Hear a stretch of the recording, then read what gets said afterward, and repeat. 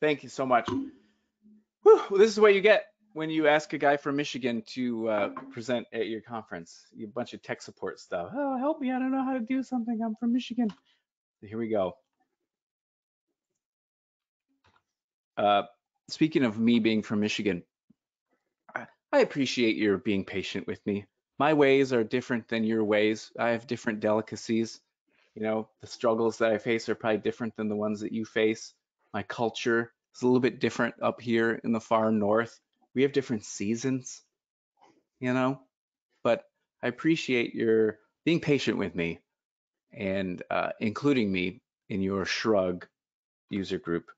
Um, and I'll tell you in a few months, I'm definitely going to wish that I was visiting there in person. So when I thought about what am I going to talk about to these people?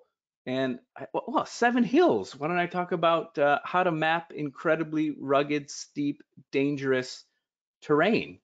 Uh, advanced cartographic methods for mapping mountains. I mean, this is the Seven Hills. Uh, and then I was like, well, we could also do something about football recruiting footprints uh, between you know Florida and Florida State. That might be kind of interesting. Oh my goodness, what do I do? What do I do? I, I, we don't have enough time to do both of these justice. I have to pick one or the other, right? Or I could just you know do them both really half-heartedly. And uh, let's just go ahead and do that one, the half-hearted option. Okay, all systems go on the half-hearted option. Let's start with football. Now, I know that there's a dominant football program in the state of Florida, and every year, you know, you get ups and downs and stuff. But I, I thought I would take a look at some of the other programs in Florida. You, you all have a rivalry game coming up here pretty soon, 10 days from now or something like that. Florida State versus Florida. Interesting. What if we take a look at these teams?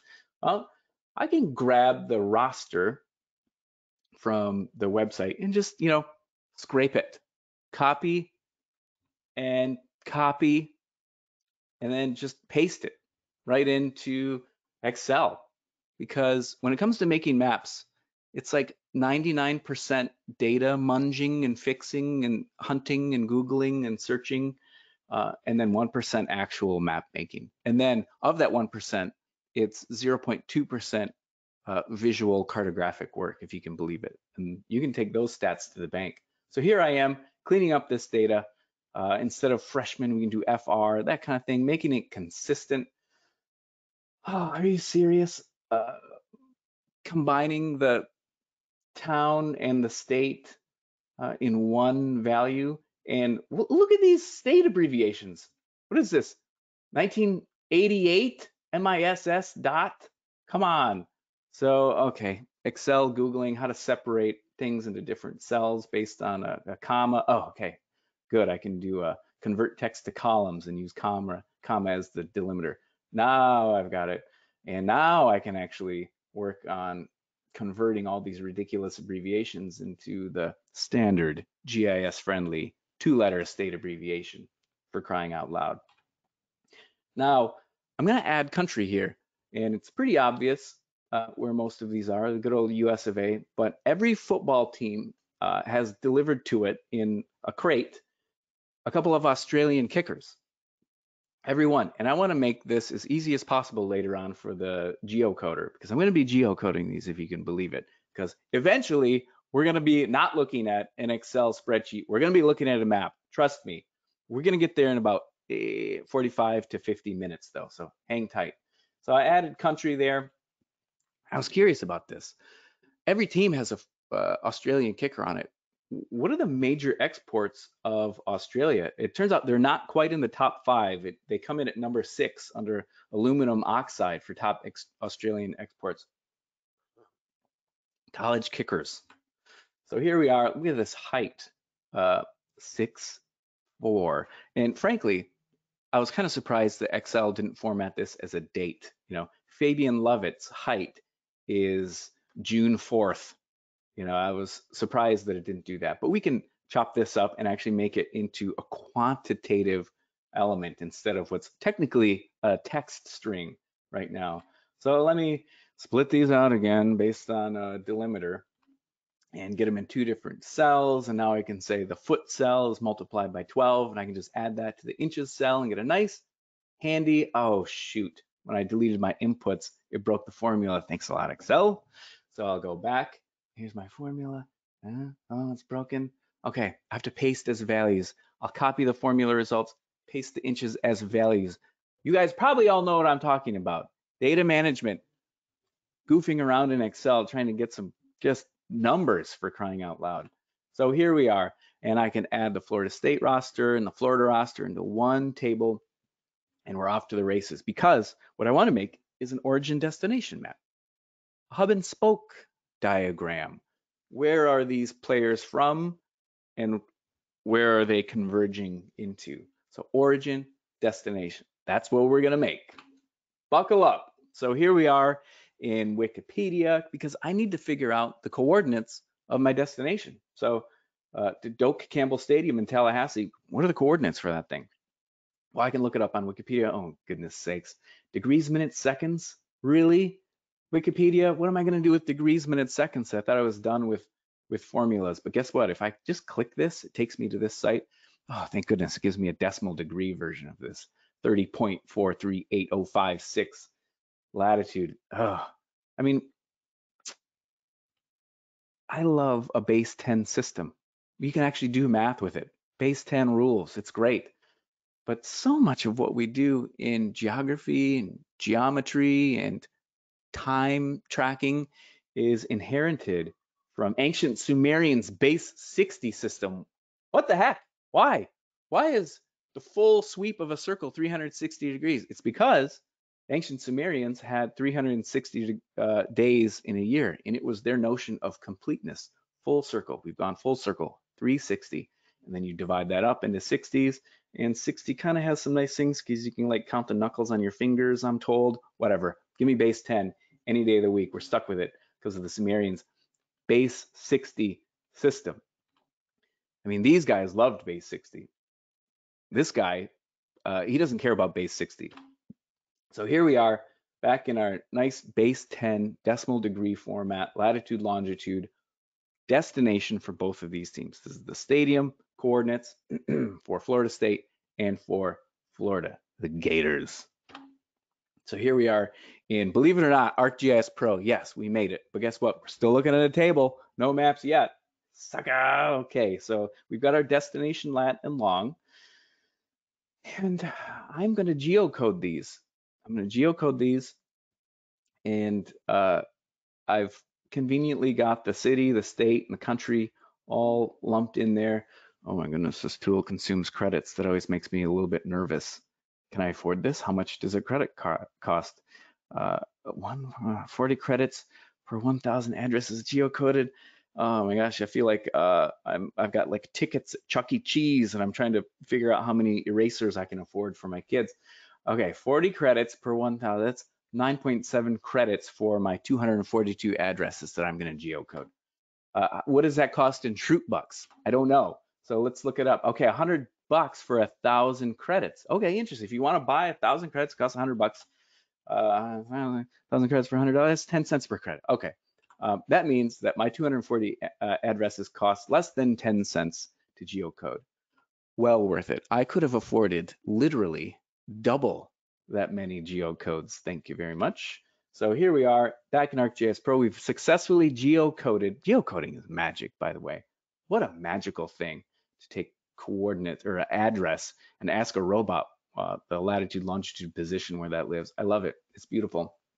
So there we are. We finally got some points. Look at all those recruits coming to Tallahassee and Gainesville from all over the country and a couple Australians.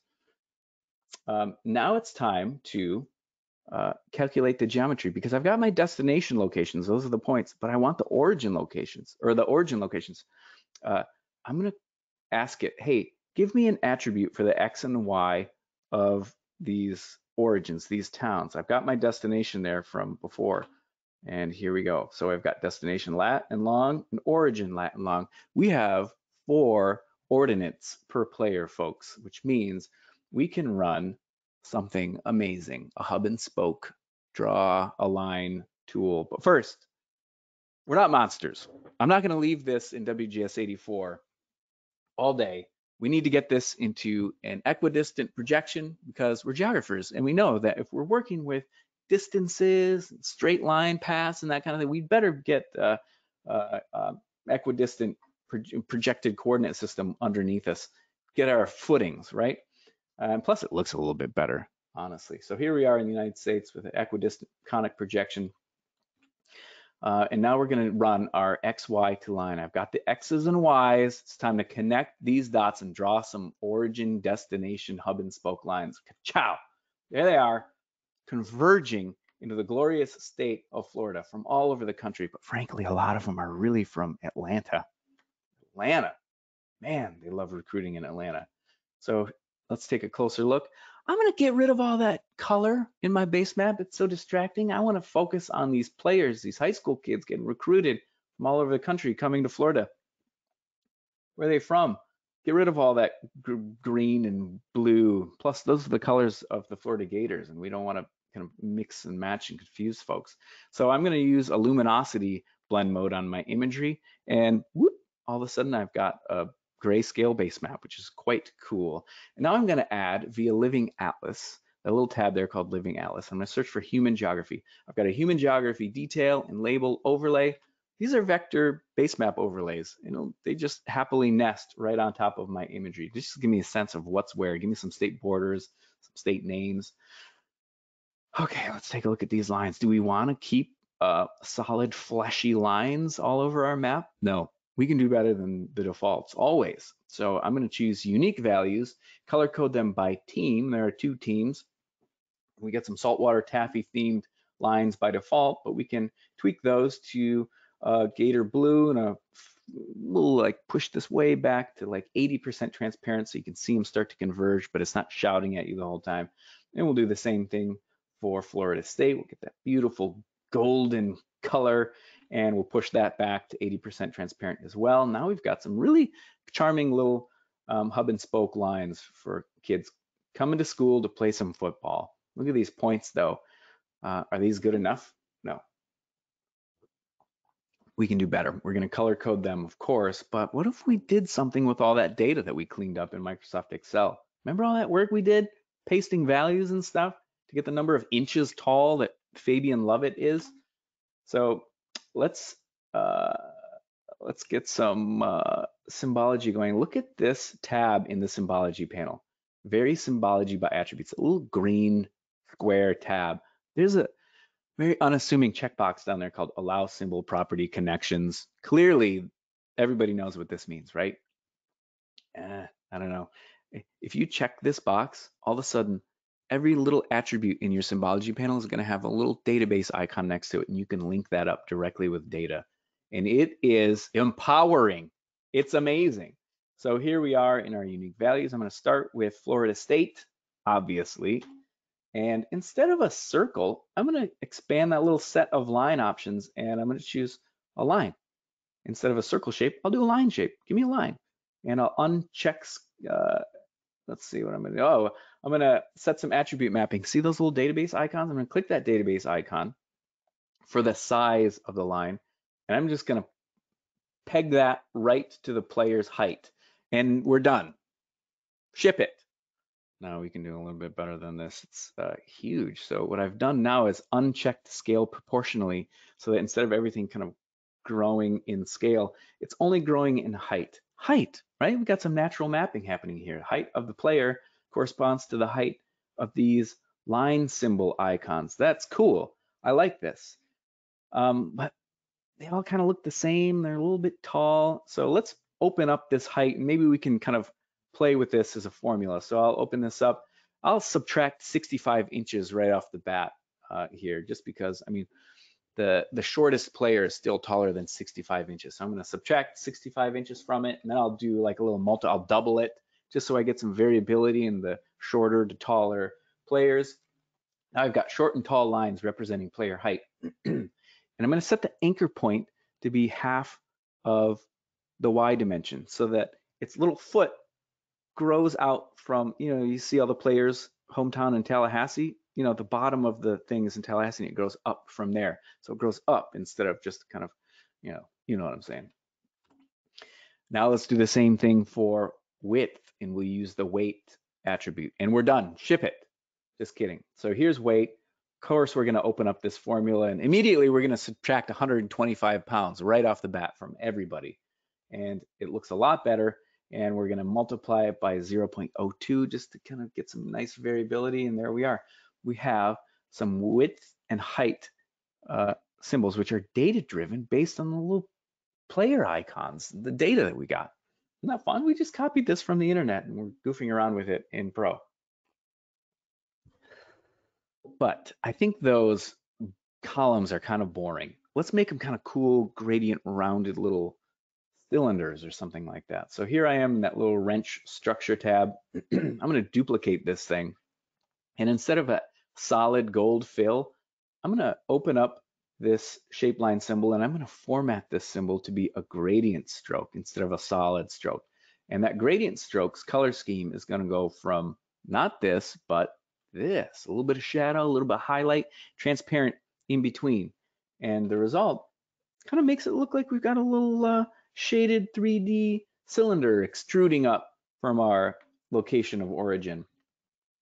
And we're not done because if you've got a, a cylinder shooting up from the ground, it's going to cast a little bit of a shadow. So let's give it a little bit of a shadow. We'll add a marker layer. We'll drag it down to the bottom. And instead of solid black dot, we're going to make this a gradient also.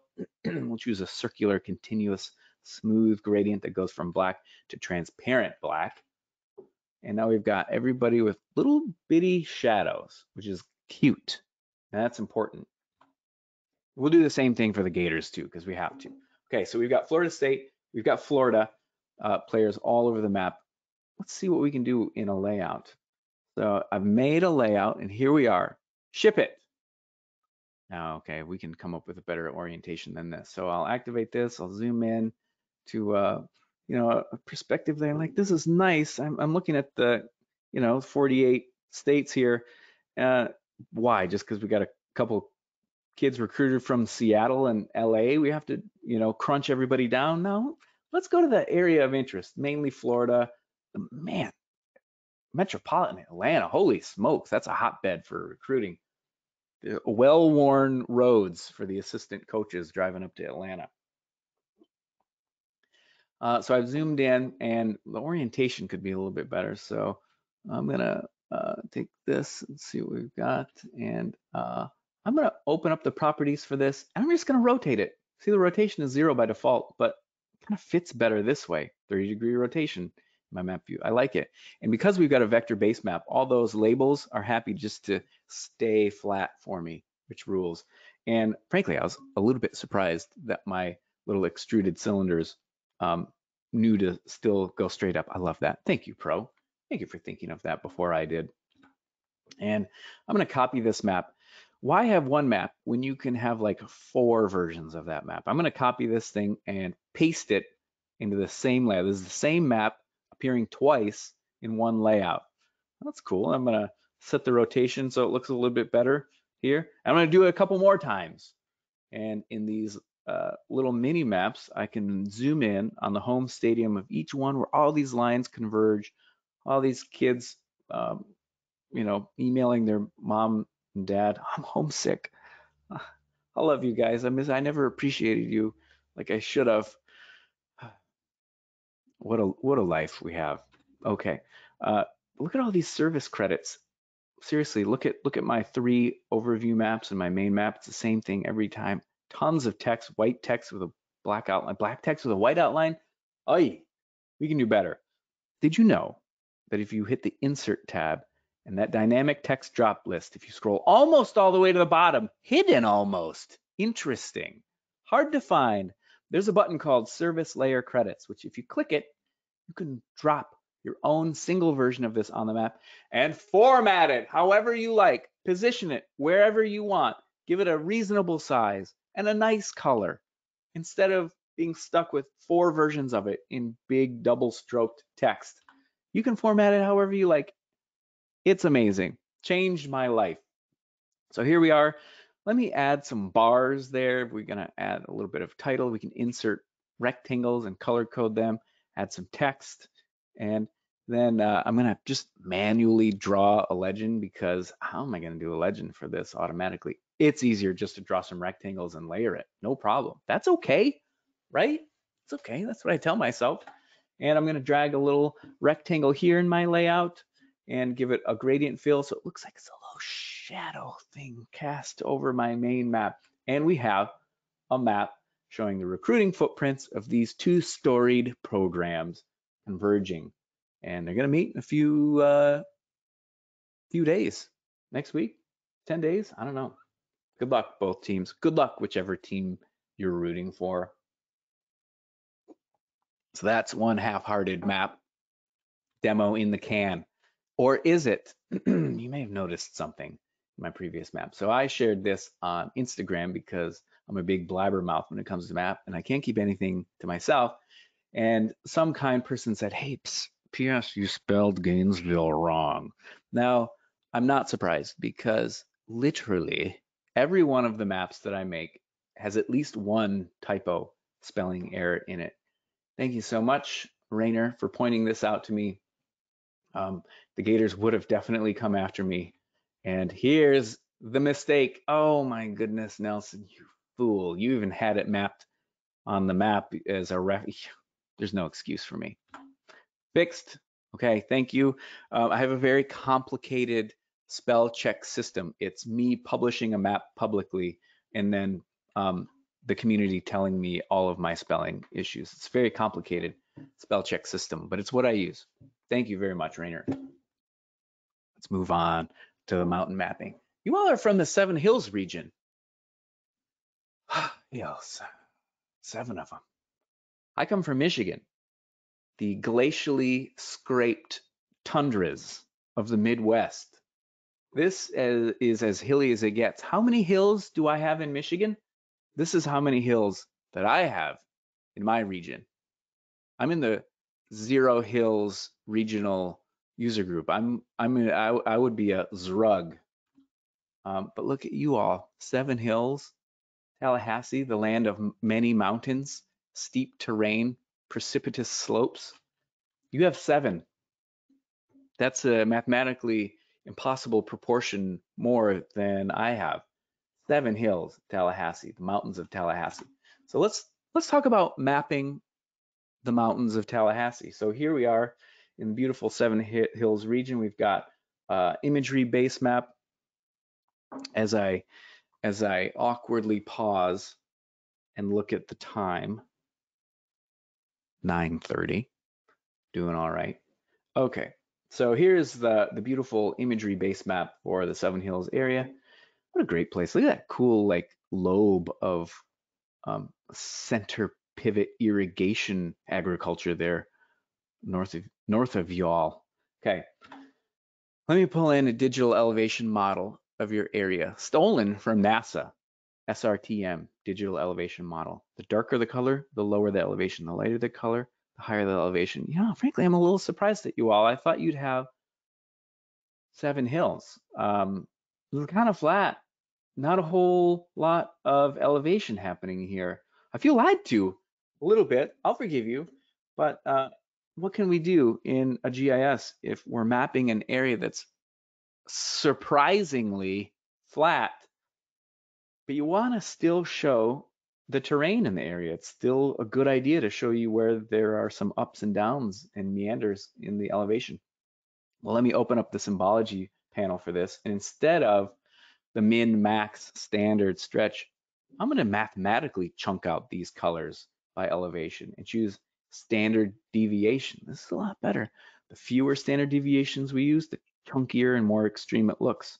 The more standard deviations, like standard deviation of three or four standard deviations, it starts getting smoother. You can standard deviation to taste, depending on how rugged you want your elevation to appear. Now, I'm gonna apply the overlay blend mode. Easily my favorite blend mode. Blend modes are a way of mathematically stitching the values of one pixel layer to the values of the other pixel layers. And overlay says, hey, bright areas, you're just going to make the underlying imagery brighter and higher contrast. And load black areas, you're going to make the underlying uh, colors darker. And frankly, instead of telling you, why don't I just show you? It looks like this. It looks awesome. Overlay is an instant improvement. It's a, it's, uh, they might as well have called it the awesomeification button. Oh, you want it better? Okay, push the awesomeification button, otherwise known as overlay. Uh, for your blend mode and you get something that looks like this. Oh, interesting. I can see the lows and the highs, this river valley Okay, well, I'm, I don't know if I can see Seven Hills, but uh, they're in there somewhere. Let's take a closer look. I'll zoom in. Now we've lost a little bit of the extreme areas of the low areas down in the, the Gulf.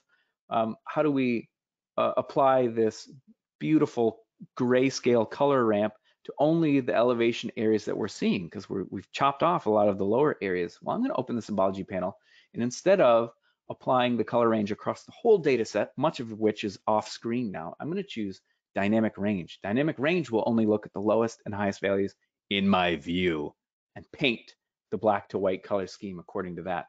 And immediately we get some way better results. So dynamic range, if you're feeling crazy and you live in a place that um, you tell people is really hilly, but it actually isn't quite as hilly as you're letting on, you can use dynamic range to force some variability in your elevation. Wink. So what's next? Let's take a look at this color scheme. Uh, it's black to white, but maybe I want to make those lower areas kind of like a, a deeper emeraldy kind of green. I'll just make it just a little bit green instead of black. And you get this kind of neat, actual accidentally elevation looking color ramp. And I'll hit apply. Oh, really brighten things up. And that's prettier and I like it. And if you it's prettier and you like it, then it's uh, scientifically valid and it's what you meant to do. So stumbling on things accidentally is frankly all we do in cartography. And then you grab the things that you like and you move forward.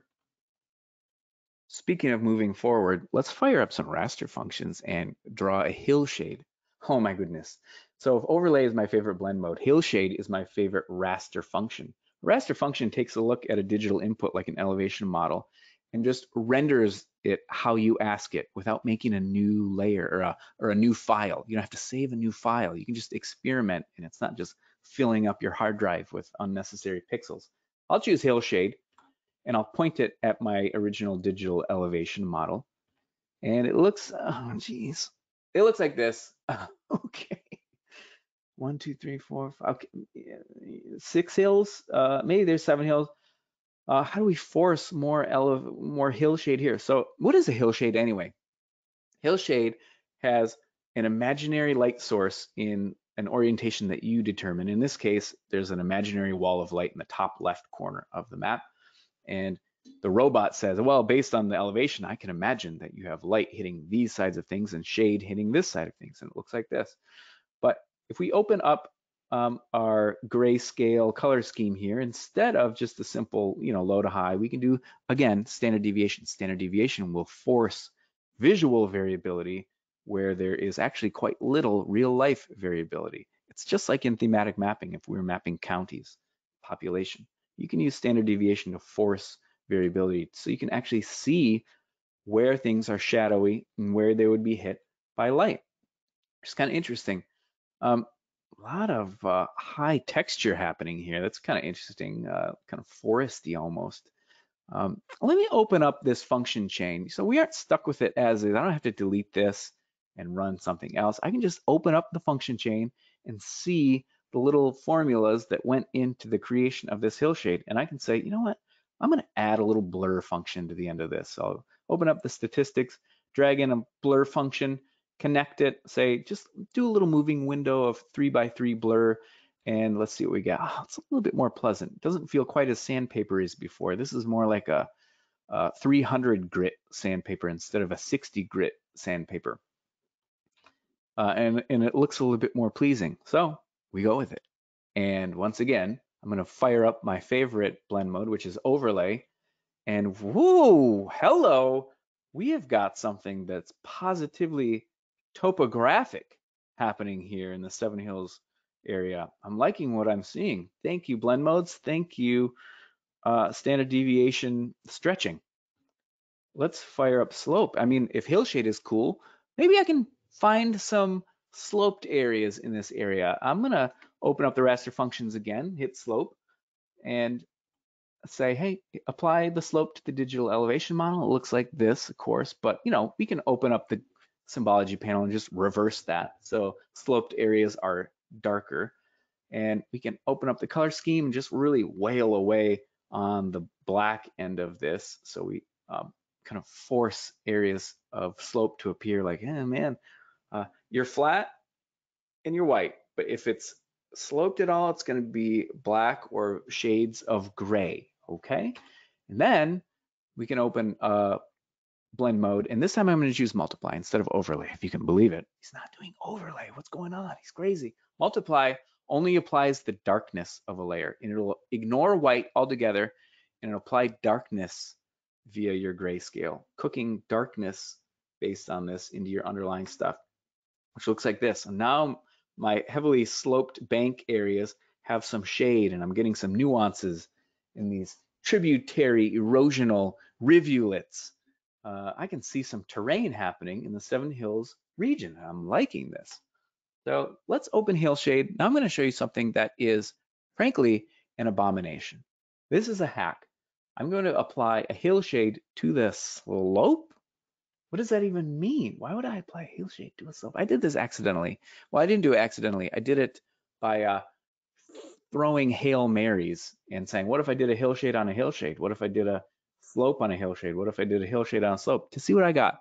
And some of the results were pretty intriguing. And I thought, oh, I could use this. And I stuck it in my pocket. If I do a Hillshade on a slope, which was not the intended use of this tool, by the way, but that's why I like it, and apply it to the slope, we get this. Whoa, this is kind of interesting. Do you know what we're seeing? We're seeing a vertical edge detection. So I've accidentally created a vertical edge detection, vertical edge detection, anywhere where the terrain kind of abruptly changes from steep to flat, it's gonna, boom, call out a bright, it'll look like you've dug a big berm along that area. So it's like this, this is an elevation model, hillshade on a slope, focuses your eye on all these places where the terrain's and goes, hey, look at me, I'm an edge. And so now I'm gonna go back to my favorite, which is overlay, and cook this into my base map. And I get these bright little river edges on the sunlit edge of the rivers. I've got these kind of chiseled away darker areas on the shaded side. And we are just making this thing look like it's chiseled out of granite. Is there any granite? It's like we're chiseling all the coral in Florida to make it look all rugged and bumpy.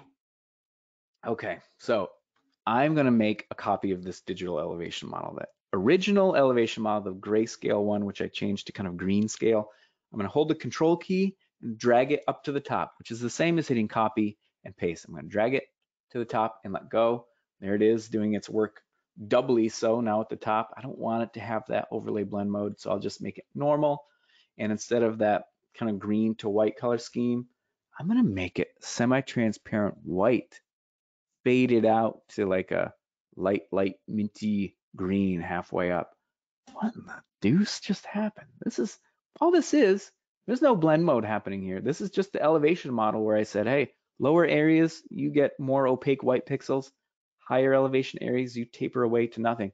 And the effect is this weird, trippy, misty landscape where low-lying areas are cloaked in an atmospheric inversion, winding their way up these river valleys, low-lying swamp areas to the southeast. Isn't that fun? It's so easy, such a hack. You just saw two hacks in a row. Now, let's add a little bit of context. I'm going to choose Living Atlas, add data, Living Atlas, Living Atlas, by the way, that's the team I work on. It's like uh, Wikipedia for data and maps. You can add content to it and submit it, and then an actual human being will look at it and say, yeah, actually, this is pretty cool uh, approved, and then it'll be available to everybody, and Esri can host it and whatever. So if you've got cool data that you want to share, think of um, contributing it to the Living Atlas, or use Living Atlas content in your map, which is what I do. Just be a taker. Take Living Atlas content, seize it, use it. I've added um, some context here. So I've added roads and boundaries and some labels and our completed terrain map of the rugged treacherous mountainous area of the Seven Hills regional GIS user group. This is how to force terrain where you have eh, not quite as much terrain as you might have uh, appear on a map. Sometimes it's helpful to show where terrain is, even in relatively flat places. You know, Switzerland doesn't get to hog all the fun. Come on, screw that. Nice try, Switzerland. You don't have a monopoly on the terrain mapping game. We can do terrain mapping in the Seven Hills region. Um, now, if I flew by these, which I did, everything I've shown you is available here and there in probably two short, uh, kitschy little videos available on my YouTube channel, John Nelson Maps, youtube.com, John Nelson Map. Um, I like to make one minute map hacks. You know, everything I do, frankly, is a little hack, and you can use those one minute things as a recipe to stack up your map and do what you will. Uh, so how about it. Now, um, I'm going to ask Ned a question. Ned, got a little, um, maybe like another five minute thing. Do you want me to stop here or do you want me to continue with the five minute thing? Please continue with the five minute thing. Thank you, Ned. You are We got lots of, probably, we got, huh? we got lots of time. All right. You're probably not going to regret this. Good. Okay. Mars, 1964. So in 1964, this was as good as it got for visualizing the surface of our friendly neighborhood planet Mars. This is all we had. This is the best uh, that we had. This is all we had. And that's not good enough for us. And so NASA constructed a satellite. They built a robot and strapped a 1964 TV camera onto it and built a little TV camera signal to digital data converter on this. If you can, this 1964, they did a digital image conversion uh, and a little tiny little uh, radar or radio antenna to beam content back to Earth. So they took this, they took this little robot, they strapped it to the tip of an intercontinental ballistic missile, and they blasted it into space using like trigonometry and stuff. They were able to shoot a bullet at a bullet on an impossibly small target whizzing through space from a rotating home planet of ours, also revolving and rotating around the Earth. I don't know how people do this kind of stuff. Um, I had to drop out of pre-calculus. Um, so my hat's off to all of you all who can who can do this sort of thing. It boggles my mind that we were able to do this. Anyways, it's a flyby mission. We shoot this bullet right past Mars to get a close, the first close-up picture of Mars in a flyby. And this is 1965 by the time it gets to Mars. It took almost a year to get there. And oh my goodness, the data is coming in. The, this is the day, the data is coming in. But we're working with an impossibly narrow little radio band, a very weak signal coming back to Earth. And it would take eight to 10 hours for all of that data to be transmitted for a very basic rudimentary black and white image of Mars um, to get to the to the folks at NASA. Eight to 10 hours. Uh, I'll tell you, reporters aren't going to wait eight to 10 hours if they see that data is coming in. I want to see some data. I want to see it. The engineers wanted to see it too. And so what they did was, and you know what? Once you got the data in 1965, how long is it going to take for your, you know, IBM building-sized computer to process that into an image? Who knows? And so as the data was coming in on these little thin ticker tape, you know, stock market uh, ticking tapes, strips of paper, the data is coming in. It's very narrow band of low to high, just like a digital elevation model coming in. The engineers taped it onto a wall, the strips, and they got some crayons. They busted out some crayons and started color coding uh, each of these coloring on top of each one of these numbers because they didn't want to wait eight to 10 hours and then who knows how long. They wanted to see what the first flyby of Mars was going to show them. And so they started stripping these little numbers together and coloring it in with crayons, which is amazing. And here it is. Here's the first portrait of Mars via crayons on strips of paper assembled together. Because people are just amazing creatures and we're creative folks and we don't want to wait eight to 10 hours. Uh, let's take a closer look at this. So here's the full view of this Crayola version. Um, by the way, the aspect ratio is actually square. So it looks uh, like this. And the notion of up and down means nothing in space. So this is what we're actually used to seeing a planet's horizon. There's Mars. Look at that. First indication of atmosphere from this flyby. You can see like a little atmosphere dust storm kicked up there in the northeast. This is Mars. This is the surface of Mars. Uh, now, the color palette was Mars-like, but really the data coming back is all black and white grayscale. One, one uh, light layer. We don't have three colors in this. It's just grayscale. It looks like this. By the way, once they get it all processed, this is what the actual data looked like. This was the colored in version. This is the real one. And I'm showing you this because the first interplanetary remote sensing visualization system was a pack of crayons and some gumption. So anytime you feel like, oh man, software is a little bit too complex, I don't know, I have to learn all this and that, just start wherever you are with whatever you have and start putting some pictures together. And you might surprise yourself. First interplanetary remote sensing system, box of crayons and some gumption. That's all I have to say about that.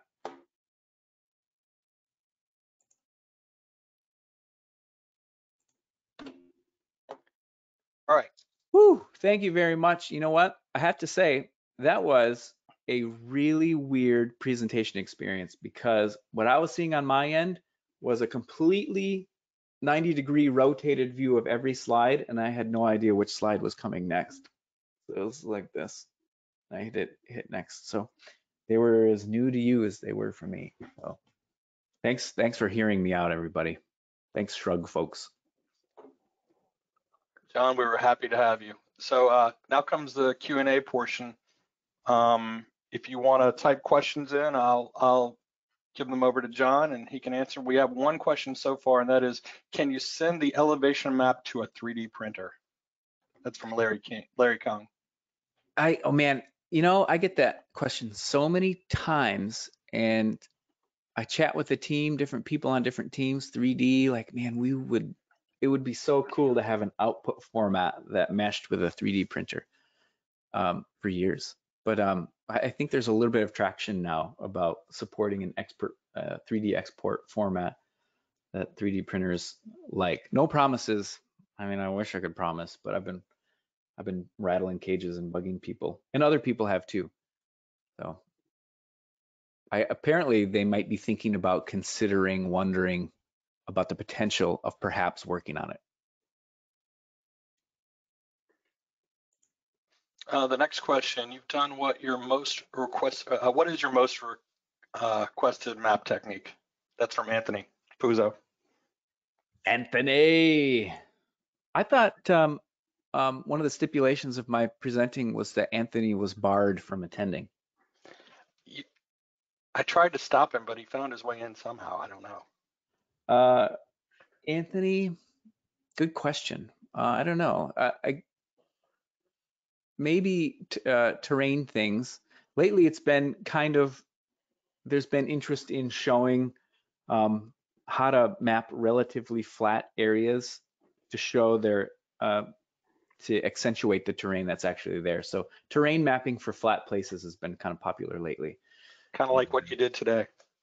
Yeah, yeah, there are a little handful of tricks that you can do to actually show where little banks are in, in river areas, you know, in, in places that you think, oh, it's too flat for me to do this kind of technique.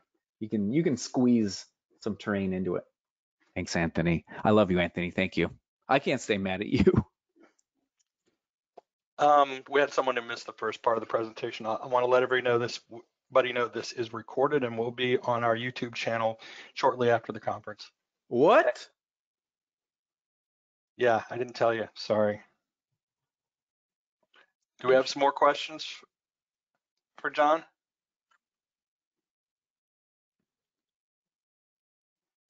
Come on, folks. I would add that there are several comments in here that mentioned fantastic presentation. Thank you. I love this. Oh, cool. I don't see any, I can't see any chat, but I trust you. I'm It's gonna take, que- my- it's under questions. oh. Mm, mm, wanna- let's see. they- They want to know if you located all seven hills. No, I never found all seven. I think that uh, requires an in-person reconnaissance trip. So Hey, if we're in person next year, you're invited. the second our world, the second uh, the Hulk, you know, puts on that uh, gauntlet again and snaps, and everything is back to normal. They wanna know- Seven Hills.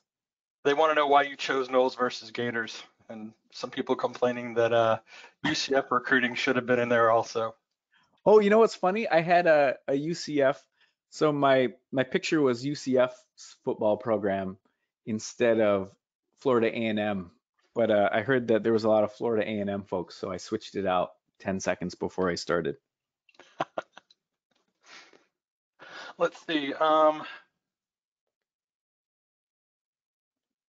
do you use uh, the Adobe Creative Cloud Suite apps when creating unique maps? I've used it a couple times. What I like to use it for is when I work in Pro, there's an Adobe Creative Cloud export format called AIX. And when I use that, it makes uh, an Illustrator friendly version where all the vector stuff is vector, the image layers are image, and it keeps all of my layer hierarchy and stuff. In the past, I used to have to export as a PDF or SVG and then open or EPS and then open it in Illustrator and then just oh man, what a nightmare of figuring out all the clipping paths and layers and stuff, cleaning it up. But it removes all that cleanup work. So I export as an AIX, which is part of the Maps for Adobe extension in Illustrator. Um, we have some folks that want to join the Zero Hills Regional User Group when you get a chance for that. Um, yeah, They wanna it's, know uh, population one. they want to know how many hours per week do you spend experimenting on the different functions? Um, well, my job breaks down to like half and half. So half the time I'm doing what I'm supposed to do, which is build user experiences for the Living Atlas team and like write story maps and and make maps using Living Atlas content. And then like half of it is writing blogs about that process and making videos showing people how to play with that data and just generally goofing around with map making and sharing the sneaky tricks that I accidentally stumbled on along the way. And half. Yes. That was Stuart Court. Uh, Tony Cross wants to know where do you get your inspiration for all of your map tutorials? Um, well, the map tutorials themselves, I like to watch a lot of YouTube maker videos. And so lately, um, so before that, it was just blog writing, and then it's kind of migrated into YouTube tutorials. But then I'll do a blog showing the YouTube tutorials, so it's kind of like both. But um, the maker community on YouTube is awesome. I mean, I like uh, Alec Steele and his um, Metalworks and Pask Makes. He's a woodworker from Australia. People do some really amazing stuff for free, and they share their process, and so generous of them. And I learned a lot from how they show things and how they pace themselves and that kind of stuff. And I haven't applied any of it, but I'm getting better. So Nani Castro uh, asked the question, making a layout in ArcGIS Pro is a little confusing to me still. I have a lot of templates in ArcGIS Desktop. Can I use them, those in Pro?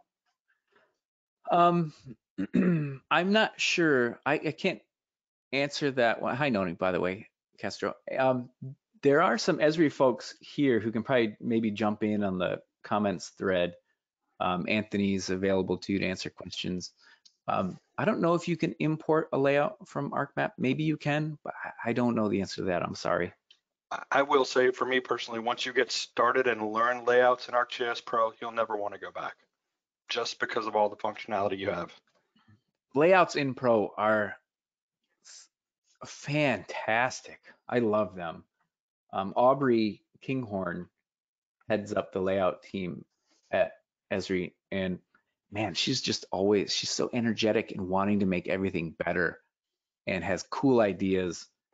And um, it, it, it is, it, it's great. You know, I've worked with layouts in both, but um, of course, predominantly in Pro in the last few years. But yeah, you can do so much. And the fact that you can pull in multiple map into one layout and it's great.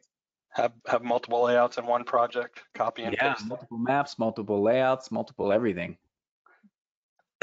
Um, Nadi comment, followed up comment with, um, what do you think the spatial tools in R, I'm sorry, that's Andy Weber.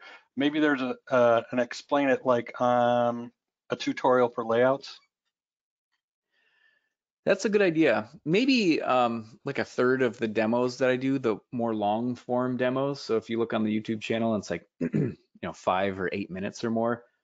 Um, there's a very good chance I'll be working in layouts and I'll create a layout from scratch and I'll fill it with things. So that might be helpful for you. I haven't done many very short form one minute hacks on uh, layouts specifically, but I should.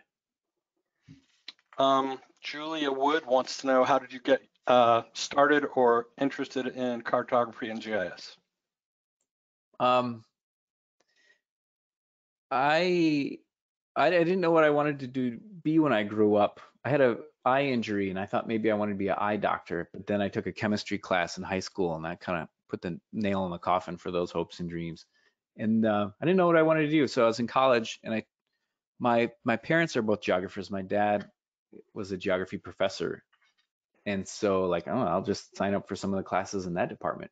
And I I sat in my first lab for computerized cartography and we did a dot density map and it started filling in. I was like, this is awesome.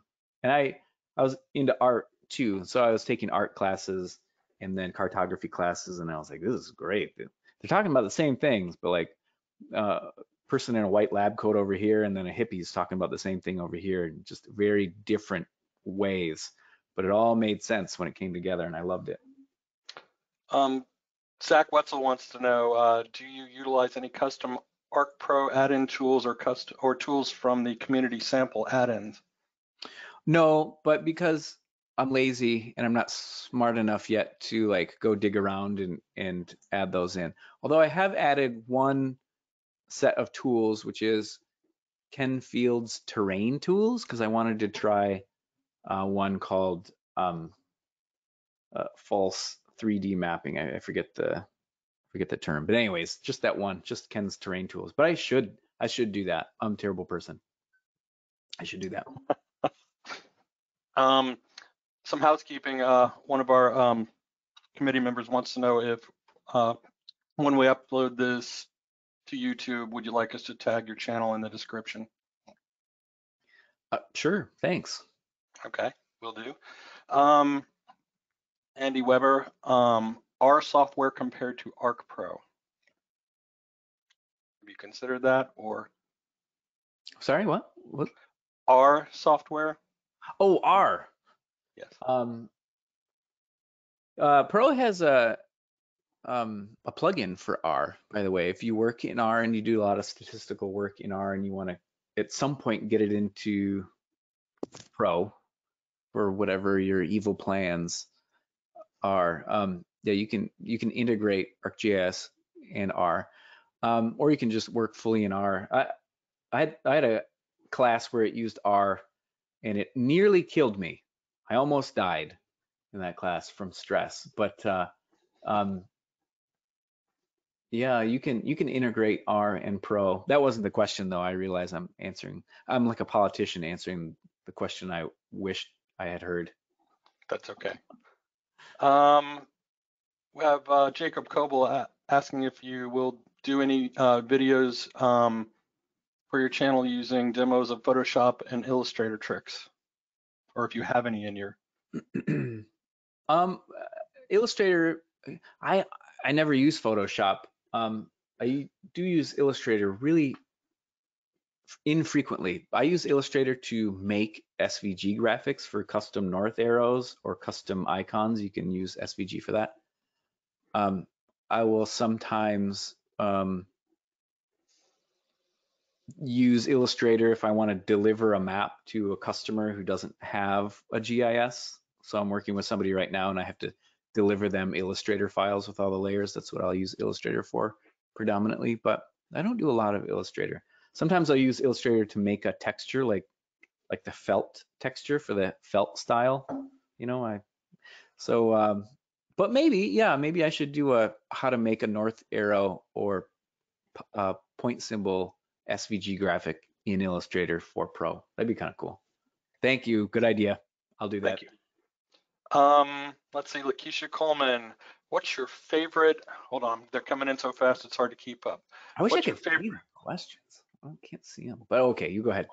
What's your favorite podcast or radio show you listen to? Um, one of my early favorite podcasts was Radio Lab.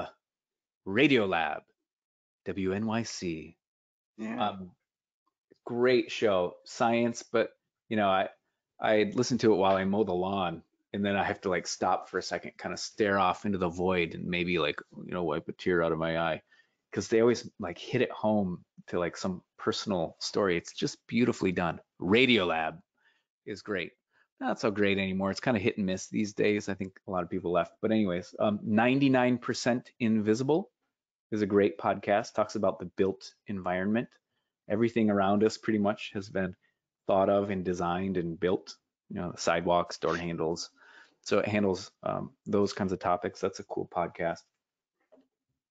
Um, let's see, what kind of videos or projects are you working on for the future? What's the, what's coming? I don't know. I'm not. Uh, I'm not put together enough to actually have like a plan and a roadmap of things that I want to work on. I've got a really sloppy white. Let me look at. Okay, so I lied. I do have a whiteboard. So my next ones I want to work on are um, my three favorite blend mode recipes and the very different outcomes of those. Um, and I'm going to do a video on how to get an XY table into a map. So par- partially this demo I did today. Um, I'm going to do a few more on like, do you, like I wrote a blog post, do you really need a, a north arrow on that map? And people were pretty interested in that. So maybe I'll do a, do you really need a scale bar? That kind of thing. Um, then and what I really want to do an idea I've got for a pie sliced hillshade map where I take eight different hillshade directions and I cut them into pie shapes. And so it's kind of like a center illuminated hillshade terrain. I want to see what that looks like. Don't anybody try that before I get to it. No, just kidding. You can do it. I don't know when I'll get to it. Um, and then dot density with a custom icon. I'm going to do it. How to make a dot density with a custom, like a little person SVG instead of a dot. Uh, so Parker Hinston wants to know if you have any enhancements or additions planned for your cabin.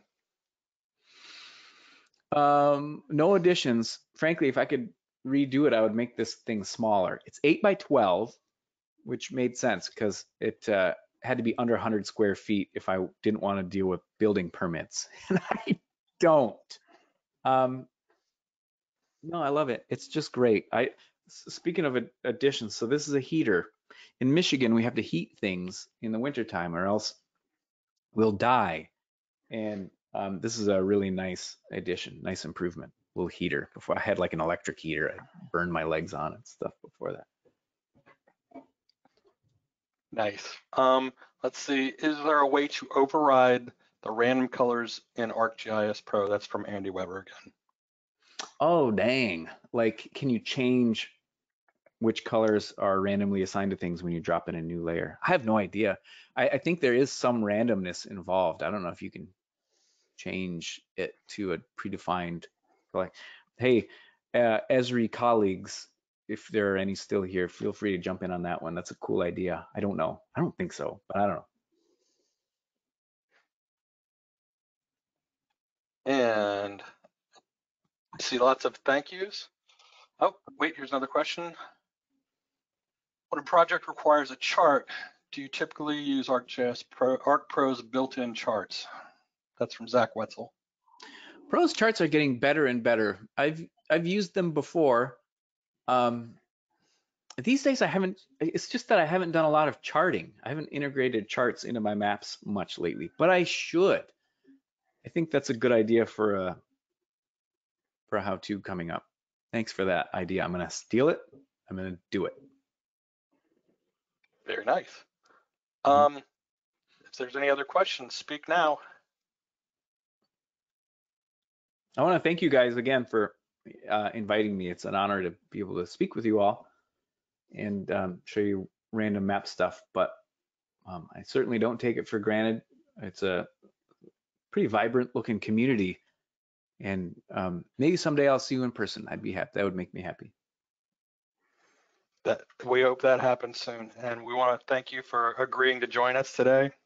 What a, what a fantastic talk! Um, and you have the right to drop in on any of the Esri sessions to uh, give those folks a hard time if you need to. Oh, perfect. Uh, will the charge be waived for me so I can get into them for free? Yes, because Okay, this is you. all free. Thank you. It might cost you a few jack bucks though. Give me, Yeah. give me a charge Can we code. get can we get some extra credits for for geocoding? Why? Credits are cheap. We- We refer to them as jack bucks. Jackbucks. All right. Um, the sessions are set to begin at, hang on a second, I've got it here, Yeah, we got a break coming up. right? And the next, then the next one starts at 10:45. There are three consecutive sessions, so pick the one you like, or Three tracks. have all three. You know, get three screens and and um, have them all Put 'em all- going on at the same time. Cool. Three concurrent tracks. Big deal. This is a big. And as Ned pointed out, they are being recorded, and we'll um, make an announcement in a couple of days, probably next week, and let everybody know where to find them uh, through our website. They'll be through YouTube. Um, Noni Castro had a question about the layouts. You did um, do your best to answer that. Anthony posted a a link to a YouTube video, uh, an Esri video on on layouts. Uh, I, I shared that with her, and I also shared it with everyone through the questions dialogue. So for those on the line here, um, there is a in the uh, go-to meeting um, dialogue box. There's there's a section there for questions. Many of you found that because you were asking questions, um, but there should be a link there on the layouts. And uh, thank Anthony for posting that. If there's any questions uh, that come up uh, after um, we we hang up with John, we'll we'll sure to pass them along. Yeah, and feel free to email me. My my email is john underscore nelson at esri.com. John with an H underscore Nelson. And I would encourage those of you that don't, if you have Twitter, or even if you don't, it's worth getting an account just to follow John because he's he's always posting and he's always providing links not only to his content but to other people's amazing content, and and it's it's well worth a follow. Thanks. That's literally too kind of you. although although he did pull a fast one on me when we first announced that John was going to be our keynote and we put it on Twitter. He said, "Wait, what?" I'm sorry. So I And, and I saw I, I that. do that. I do that to people, and uh, I should have warned you in advance. I like to troll, troll. Uh, well, I love trolling Esri's um, Twitter account. It's great. I always say, "Don't follow this link. It's a trap." got you got me good. I saw that late at night and I was like, "G- g- g- "What?" sorry, buddy. That's all right. I'm gonna do it again though. All right, you got it. um, I think we're uh, coming to a close here. Uh, thanks again, John, and everybody. Uh, be sure to join those sessions. We have some great presentations coming.